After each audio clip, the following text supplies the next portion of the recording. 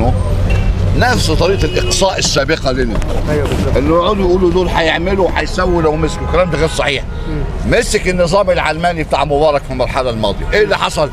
شفنا السجن شفنا الاستبداد. يا جماعة شوفوا سيبوا التيار الإسلامي؟ سيبوا التيار الإسلامي يؤدي دوره ومين قال إن التيار الإسلامي مسك؟ أنتوا بتسمعوا الأحداث ليه؟ هو مين اللي مسك؟ وحد مسك الدولة؟ هو بيكلمونا النهارده إن؟ إحنا مسكنا الدولة. ده اللي بي...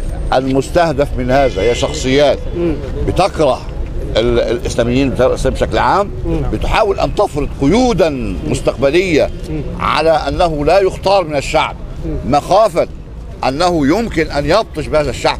نحن في المرحلة الماضية ضحينا من أجل هذا الشعب ولا زالت الجماعات الإسلامية تضحي من أجل هذا الشعب وبإذن الله تعالى ربنا ينصر هذا الشعب بإذن الله. السلام عليكم.